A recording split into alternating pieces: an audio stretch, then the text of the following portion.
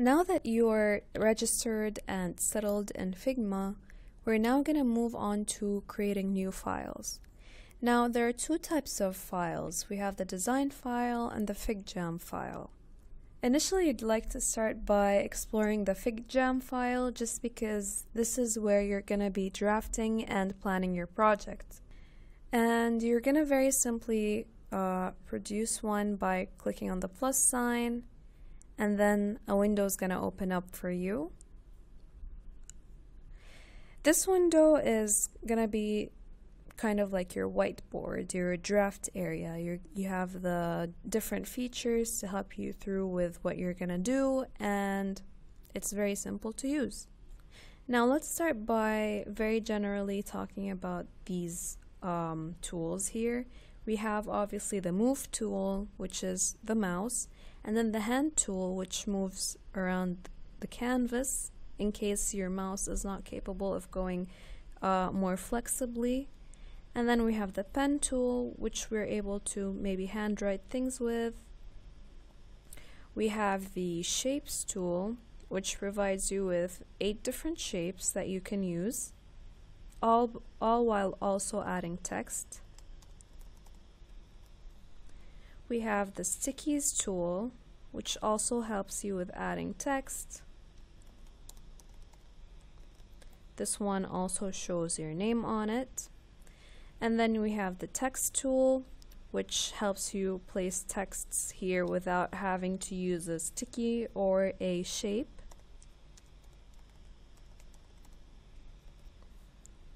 We have the connect which um, kind of is going to be more helpful in the future.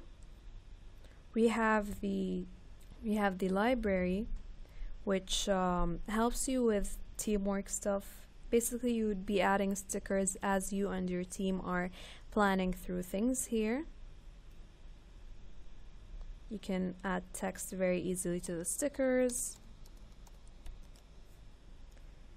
And then you have the stamp tool where for example if you approve of something you can very simply just stamp a thumbs up and it is gonna be showing to other people on your team and finally you can very easily place an image within the artboard.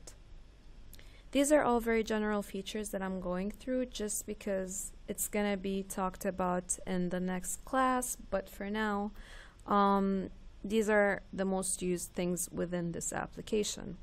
One thing though, if you're uncomfortable with the dots and you would like a clear page, you can also go to view from this drop down button here, view and then remove the dot grid so that you can work on a completely white board if you'd like.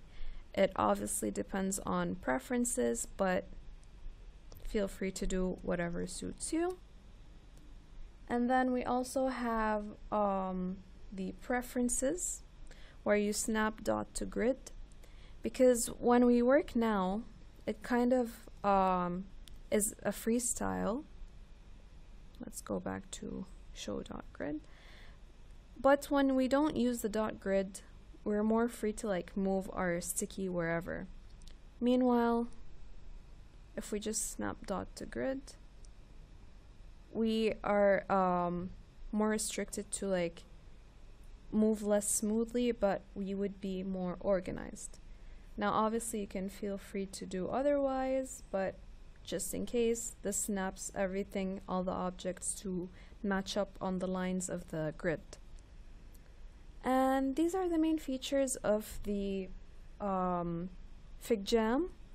As for the design file, obviously you're gonna also create a new one by pressing on the plus sign, and then you're gonna and then you're to enter this page where you're to be doing very much more detailed work. I'm to get into it in another class, but for now, this is how it looks like. Uh, another note is in case you want to be as organized as possible, you're to very simply just name your project according to what it is through this tab here. So now it's currently untitled. I just pressed on it and I will name it project 1 and there you have it. Now, for group work purposes, if you'd like to work on this program and draft with a group, there are a lot of uh, features that you're able to access, which I'm gonna also be discussing in detail later on. Uh, this feature includes the cursor chat, where you would like to point at something and say maybe nice job to someone or any of that. And then we also have the timer. So maybe there's an activity that needs maybe three minutes, maybe like two seconds. And then the timer ends and the results are perceived with the team. These are all, like I said, the main features of the FigJam that we're going to be looking into the next class. But for now, this is what it does, and we can get started and dive into it.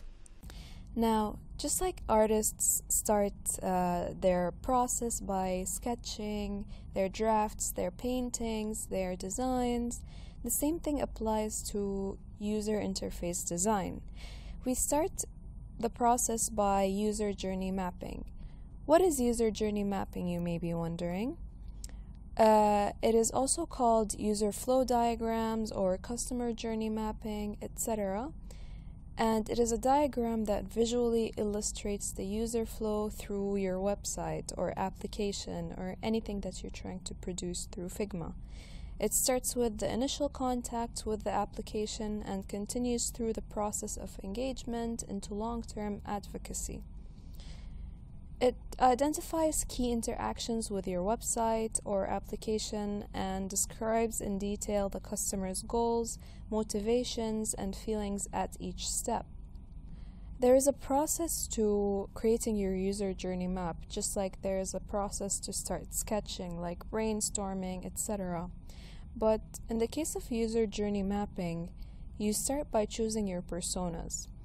A persona is a target audience customer uh, that you are creating uh, specifically to match what you think the person will be using the app will be.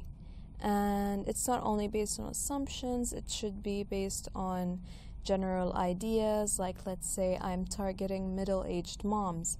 So I would be looking at their age, at their occupations, at their location, their device type, their tasks or goals that they want to accomplish through this app. And from there, I create a persona. I will get into that again um, very quickly in a bit. After creating your personas, um, you have to map the touch points. So, a touch point example could be a typical buyer's journey is like online purchasing, for example, it would be awareness, I want to buy something, research, they research the object that they want to buy, purchase, after researching and finding what they want to buy, they purchase it, and then use, which is using the item after they purchase it. So these are very general touch points that would help the user understand um, what exactly they will be going through. And then after mapping the touch points, you would be creating a narrative. And a narrative contains maybe actions, motivations, emotions that occur at each interaction or touch point. So let's say, for example, uh, someone is having trouble logging in. Uh, they forgot their password or any of that. I'm sure that they would feel more frustrated than someone who is logging into his account very easily or stressed, you know? So from there, we try to make it easier for someone who's stressed by providing the forgot your password button be as bold as possible. All of these are going to be very easy to understand as we're working through the projects but moving on, after we create a general narrative, we visualize our narrative. So I'm going to show you a quick example of a user journey map. This is a very complicated version of it. Obviously, uh, you're not expected to get straight into such detailed mapping, but we created a persona which is not shown here but the persona is someone who exercises obviously, because this is a health tracking system um, interface. And then from the persona, we're trying to create general touch points. These are the touch points, which are the user's last exercise was cycling, they select jogging and start jogging, they put their cell phone in their pocket, they measure their blood oxygen while jogging. These are all very general touch points. And from this like narrative that we have, um, we're starting to understand maybe emotions or like levels. So, this is the part where the person, the user, is um, about to start exercising. This is the part where they are exercising. And then this is when they were interrupted because they remember they need to make a phone call. And then the last point is when they return home. So here's our narrative, and from there, we create a visualization. The visualization usually starts at a specific starting point. Um, to make things feel more d- divided, because they divided each narrative into different colors, they go on with the colors with the map just to make sure that they're going in the right way. So, in a health tracking app, you would have the steps number out of the target, the daily distance, the daily calories that they spent out of the target, calories that they want to spend, daily sleep time, uh, last weight, last blood pressure, last stress level, last blood oxygen level. These are all things that you would find in a health tracking application. And then from here, uh, some people like to make it easier for them by adding maybe like a bullet list of um, buttons so the first button would be exercise, which you press and then uh, go to the exercise mode, and then wait when you want to weigh yourself. Settings to press on settings, and then dashboard is just maybe a home button. But this is where they are now, they're in the dashboard. Uh, and then you try different scenarios. So if the person presses on A, which is exercise, then they move to another page that has generally s- some similar things, but then it has additional objects like favorite exercises, typical things you would find in an exercise page. And then let's say that this person chose X1, which is exercise number one. After choosing any of the two X's, really, they get to see the X exercise that they chose the date and time that they last did it, the duration that they last did it, the achievements, the heart rate, uh, and so on and so forth. So, after setting a scenario where the user's last exercise was cycling and then wants to start jogging and then puts the cell phone in her pocket, we're gonna go in a specific pattern here. So, the user starts with the home page, which is the dashboard, goes on to press on A since she wants to go jogging, and then uh, after seeing the exercise uh, page, they go and press on jogging, which could be X1 or X2. When they press on jogging, they can see like the last time you jogged was maybe two days ago, it was for two hours, uh, you walked for five kilometers, etc. And then they have the start exercise button. In our scenario here, she's gonna start jogging and then puts the cell phone in her pocket. So after starting, pressing on start X exercise, which is start jogging, E, we go on and start jogging. Usually, it would have something that you would want to appeal to your target audience. In this case, they chose to have maybe an animated countdown. And we will get into how to do that very soon. But, anyways, it starts with a countdown. And because the person does not press any button, it just automatically goes to the next page. Uh, here's when the person turns off her phone because she's running. And then we can see here in the scenario that she wants to measure her blood oxygen level while jogging. So now we're starting with the green scenario. The green scenario comes after the screen was closed. It has the clock time, the heart rate, the calories burnt since they started jogging, the duration that they have, and then there's the get blood, blood oxygen level button, and then there's a pause exercise button. These are all logical things that you would know. Uh, obviously, in the scenario, the person wants to get her blood oxygen level, so she presses on button P, which takes us to blood oxygen level kind of like page or tab, and then she presses on the start measuring button. And from there, it starts measuring in an animated process, maybe like a loading bar or something. And from there, uh, she gets her result and she can press on done. After pressing on done, she goes back to the main page, but obviously not with the same um, option here, but it would actually get the blood oxygen level number. Afterwards, in the scenario, the user remembers that she needs to make an important phone call and pauses her exercise on her phone.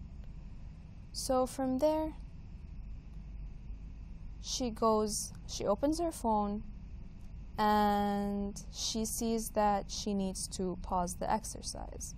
There's a pause exercise button that she's going to be pressing on. After she presses on it, here it shows how it would look like on the phone and the watch because it has both versions. So it says on the watch that the exercise is paused as well as on the phone, and then there's a stop and resume button, which is a normal thing to have. And then from there, she goes to make the phone call. So she decides to stop the exercise on her watch, and from there, she presses on A after pressing on A, she verifies, obviously, when a user is doing making actions like we mentioned earlier, you want to give them safety and make sure that they're choosing the right option. So when they stop an exercise, it is more permanent than pausing it. When you pause an exercise, you don't really need to confirm because it's not gonna stop the entire process, it is just on hold. But stopping an exercise is more committed. So, what you would do here is put maybe a verification message or a box, and then from there it would go straight to the home page. Or it could also go back to the exercise, with the last exercise being jogging, and it was like two minutes ago, the duration maybe 15 minutes, etc. etc. I know that I probably gave you a lot of detailed information at once, but I would like to now create in front of you another user journey map just to make it extra clear. Um, I'm going to be doing that in the next video, so if you're more curious and if you're a little confused, don't worry, it's going to be easier. We're going to create one together. We're going to start by creating our personas and then mapping the touch points, creating a narrative, and then visualize it into a map like this one. But this time we're going to be using Figma like mentioned.